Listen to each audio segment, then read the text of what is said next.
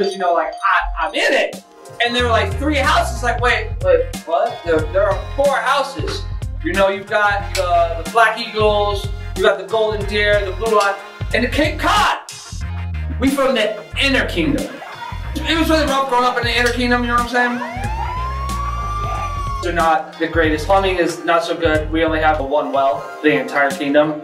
So like water scarce, you know, we, we fight, which really helped me when I came here because I had a lot of training beforehand. I was expecting to hopefully be drafted into a better house. But I wasn't. And you know, Cape Cod! Yeah!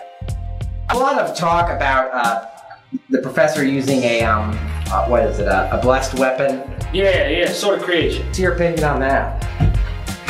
I mean, he has everything else. Might as well just give him plus weapons too. I mean, What do you mean he has everything else? I mean, he has he has all the money. He- He's in one of the best houses. He has Petra. Yeah, we tried to interview him, but Yo, Professor, be, be on the real with me though. Like, how old are you, man? Cause like some of these girls are in school. You know what I'm saying? And you hitting on everybody. You could tell me, man. You? You know?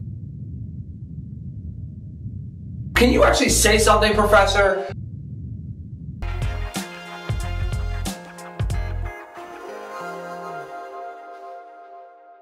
You know, sometimes I just, I just don't even think we get the respect we deserve, you know?